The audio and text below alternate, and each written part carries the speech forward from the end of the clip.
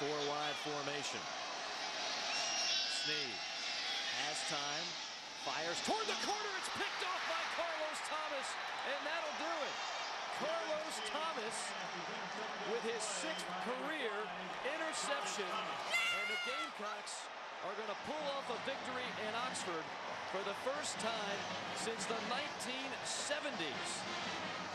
Second interception of the season for Carlos Thomas. Read it well, and Jevan Snead never really looks him off. Drops back. He's eyeballing the receiver all the way. Puts a little too much air underneath it.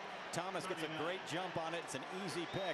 And South Carolina is about a minute away from getting their first SEC win in exactly a year. Last SEC win was against Kentucky one year ago today.